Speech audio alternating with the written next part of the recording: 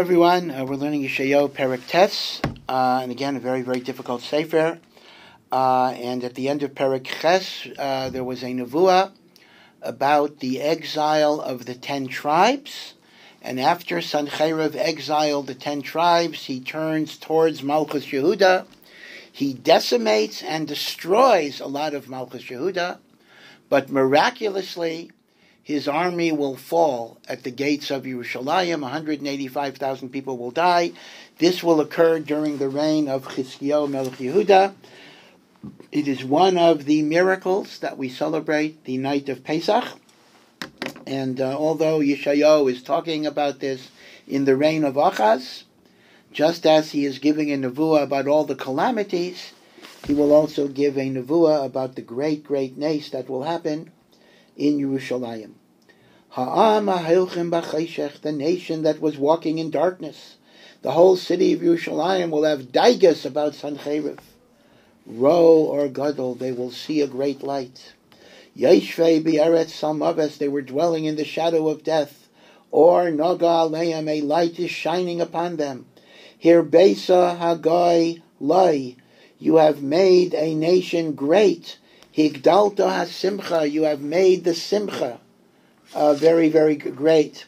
Samchu lefanecha kesimchas bakotzer kasher yagilu b'chalkam shalal.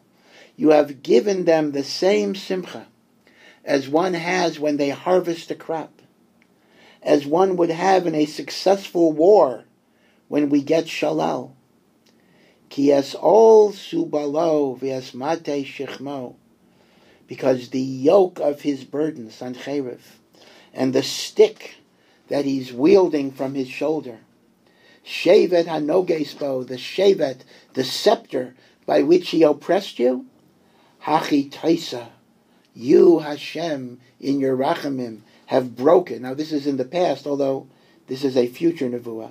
Kiyayim midjan, just as you did in Midjan in the time of the Shoftim, the days of Gideon, where all of the Midianites were defeated at night this will happen with Sancheiriv as well. It also was the first night of Pesach. Kichol Sa'on So'an Barash. Because all of the tumult that it's making in war, right, all of the tough war that it's doing, Vesimla Megulala Badamim. Its garments shall be rolled up in the blood of its own corpses for Haisal this Reifa, and all of their wealth and all of their power shall go up in fire, miacholes eish, to be consumed by the flame. And then the pasuk says, Ki yeled yulad lanu, a child has been born to us, Bain nitain lanu, a son has been given to us, Vatihi hamisra al shichmai, and the authority has been put on his shoulders.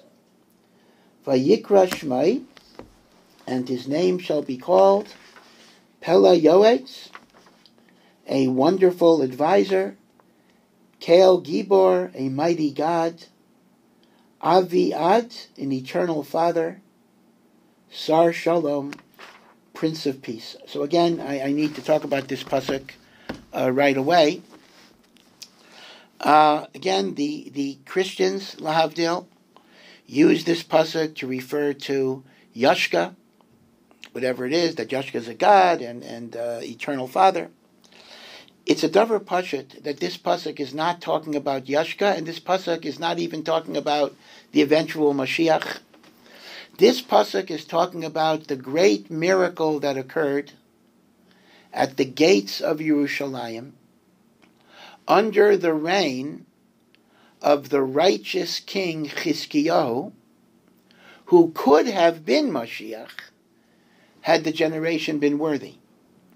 And what Yeshayahu is saying is that the great miracle that 185,000 soldiers of Sancheriv are going to be decimated at the gates of Yerushalayim is because there was a king, a son that was born to the wicked Achaz, who is righteous and holy. and was not only a tzaddik in his own right, but brought Yerushalayim to tshuva. And therefore, this is not about Yashka. This is about Chizkiyahu. A child has been born to us. And now, then the question becomes, well, was the child called God? So here's the way Rashi learns. Hashem, Vayikra Shemai, Pella Yoetz Kel Gibor Aviad, meaning HaKadosh Baruch Hu, who is wondrous in his Eitzah, who is the mighty God, who is the eternal Father, that's the subject, called Chizkiyo, Sar Shalom, you will be the prince through which peace will come to Eretz Yisrael. See how Rashi learns that Vayikra Shemai Pella Yayetz El Gibor Aviad, Hashem, that is Pella Yayetz Kel Gibor Aviad, called Chizkiyahu Sar Shalom. Now that doesn't mean that was Chizkiyahu's name, but it means he gave him the kayach, the ability to bring shalom. So that's how we learn. So it's not even a remes to Mashiach. It is simply describing Chizkiyahu. But then it goes on, Lamar Misra, to increase the rulership, Ula Shalom maintains, and to bring Shalom without, a, without an end. Al Kisei David Val Mamlachto, on the throne of David and the Malchus based David. Lahachin Isa Ulasada, to prepare it and to strengthen it with mishpat, so the kings will do justice, and staka and charity as well, rachamim. Miyata v'yadola, may it be forever. Kinas Hashem Savakos Tasazais. It is the zealousness of God that will do this. Now, here already, Chazal do say that this is a remes that the Mapala of Sancheiriv would have been the war of Gog and Magog. And Chizkiyahu could have been Mashiach. And that's why it says it would have been Shalom and Kates, there would be eternal peace. The Malchus, based David, would endure forever.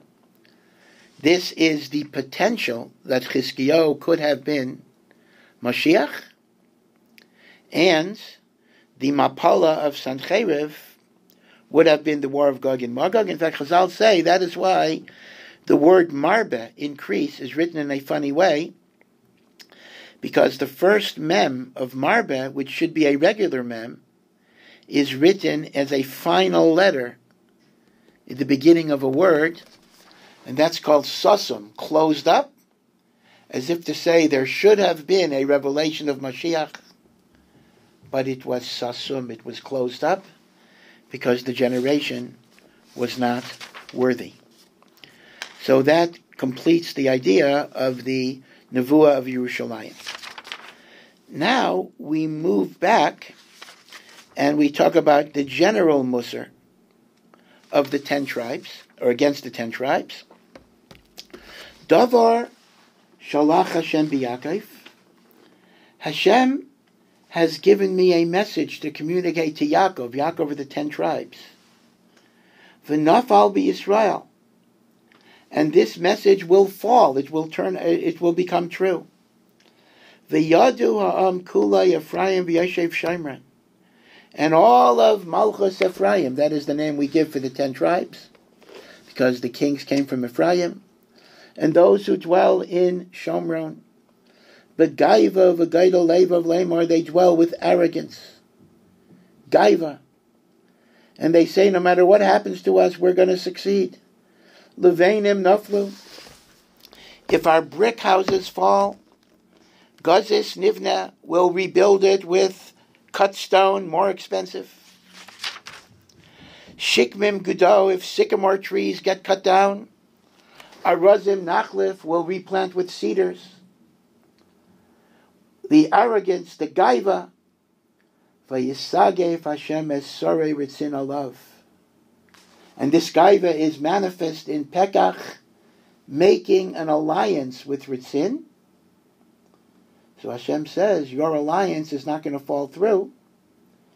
because I will raise up the enemies of Ritzin. Again, that's Ashur against Ritzin. I will stir up the enemies of Ritzin. Aram mikedem uplishtem meyachor. Syria will be buffeted from the east. The Pelishtim will be buffeted from the west.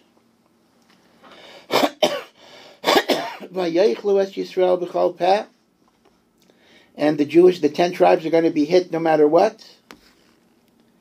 And b'chol zeis, loy shavapai, v'yoid yaday. This is going to be a refrain several times. And with all of this dislocation, God's anger will not be spent, will not be finished, and his hand is still going to be outstretched. And Malchus Yisrael is not going to get a tshuva and return to the one that is hitting it. That's Hashem. As Hashem tzivakos lo darasha, they will not seek HaKadosh Baruch Hu. Vayachreis Hashem Yisrael Reish v'zanav kipa v'yadman yom and Hashem is going to take away from the ten tribes the Reish, the head, the tail, top to bottom. Kipa, the Agmain. Kipa is a branch, and Agmon is the hole in which you plant a tree, Yom Echad. Destruction. Al Kain, Al Bachurav lo Yismach Hashem, Hashem gets no nachas from the young, confident Bachurim of the ten tribes. Es Yisema v'es Almenaisav lo Yerachem.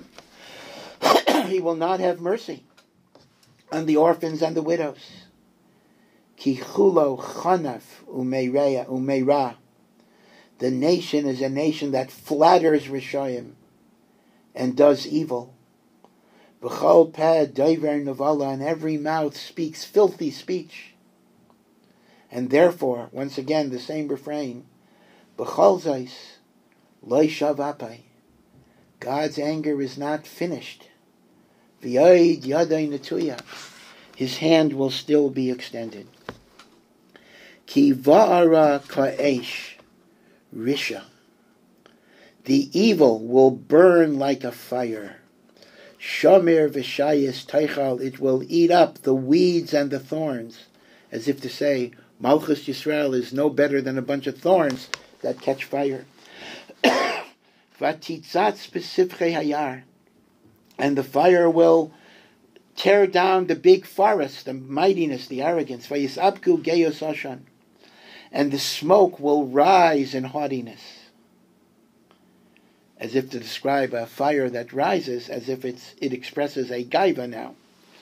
Bievras Hashem Tzavakos Natam The land has been scorched with the fury of God. Vayihi ha'adam kamacholas eish and the nation will be consumed by fire. Again, this is, this is the ten tribes. Ish Elochiv lo yachmolo. And brothers will not even have compassion. Jews will turn against Jews. They'll perhaps make deals with the enemy for to get food or whatever it would be. Vayigzar al yamin. And a Jew will turn to the right and steal food. V'ra'ev, and he'll still be hungry. Vayichal al Smail, he will turn to the left and take food and eat. V'lo saveyu, but there won't be enough to make him satisfied. Ish bisar zaraya yechelu. And eventually there will even be self-cannibalism. A person might gnaw at his own arm. Menashe es Ephraim. Ephraim es Menashe. Menashe will turn against Ephraim, and Ephraim will turn against Menashe. Yachtav Heimal Yudah, and they'll turn against Malchus Yehuda too. And Bechalzais. So again, it's describing the tumultuous confusion of the exile of the ten tribes that will take place in these different stages. Leishav Apai, V'yayid, Yaday Netuya. Hashem's anger is not finished and his hand is still going to be outstretched.